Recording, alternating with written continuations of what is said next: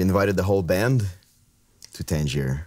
Yeah, was it already in the mindset of Not, not really, but on just like I said, we were like we we we we stayed connected uh, one way or another. But I, I really had like my life there, Mm. so that was kind of weird also, just because, as you know, everybody was like, okay, well, what should we do? And you know, and and and I said, well, why why don't you come like for a week or so, and you know, just to, to keep to, to stay connected, and you know, just to also Tangier is such a beautiful place, and it's very inspiring. Nice. And it's well, why don't you come, you know, for for a week?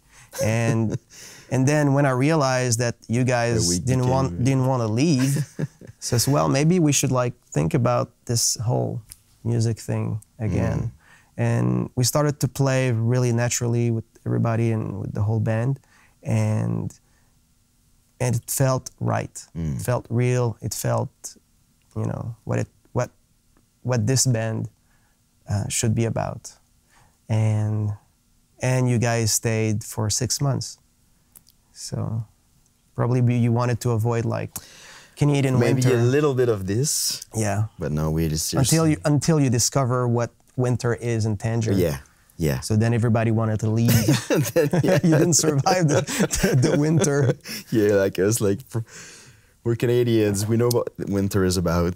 But then we had to talk also, and I think that's when this whole uh, because I had a lot of uh, ideas and, and a lot of uh, uh, pieces of poetries and everything, and I was sharing with Ben about this, and and and Ben and I kept working together on different projects. We were uh, writing music for mu- movies, and so music was still there, but I was just like Sure. tired of that whole rock and roll lifestyle Okay. bullshit. And at that point, and so I was like sharing with Ben. Ben, okay, well maybe you know, do you want to do something about it? You should do. You have like, and I had like some sorts of little ideas here and there musically, and he said, oh, we should do that.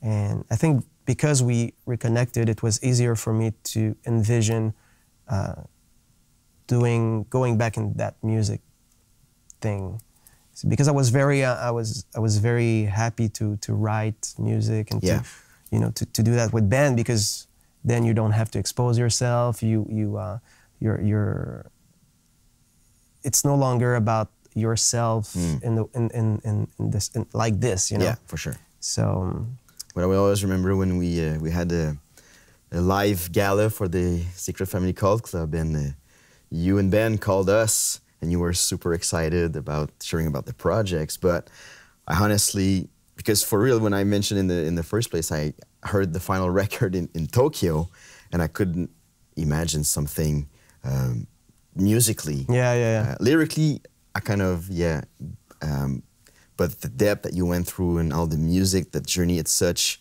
Um, you know, you don't need to be to have distorted guitars and very rock and roll songs to go to be that heavy, because this journey is really um, like raw. Yeah, but I think that the, the just like and I kept mentioning Ben and I because we we really uh, we, we really um, as a team really work on that record and, and Ben was like the driving force behind behind it all supporting and just really like you need to do it and every after every sessions so will release this right? So just like reminding me of the inevitable you know just like you know that this will it's this will go down on your permanent record right?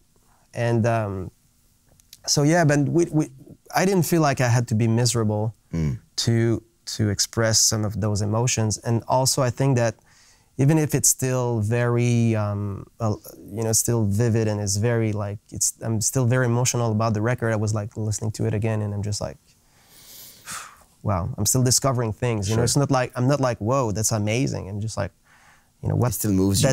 yeah because there's a lot of images there's a lot of layers there's a lot of uh, symbolic as well. And but all those emotions were already um, embodied. They were already uh, uh, uh, i already let go of a lot of those things when we did the record. Sure. and so which led me to i think to to enjoy the process because i never really enjoyed any any of it before mm. you know going in studio and so that's it's very it's a cold environment in the studio.